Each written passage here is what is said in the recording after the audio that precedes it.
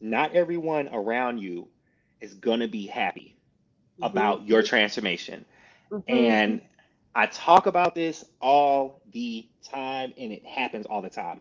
I've Yeah. seen I've seen the divorces, I've seen the breakups, I've seen a lot.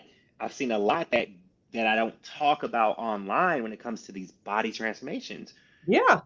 But when you set the goal of becoming this better version of yourself, you're going to have to break away. You're going to have to break away from a lot of your habits. You're going to have to break away from a lot of the people that only resonate with the, the person that you currently are. hmm hmm I've seen the, the, the friends break up everything. And a lot Yeah. of people don't want to get into that. And I, and I always tell, you know, clients like, okay, just letting you know, this is what you can expect. Right. Right.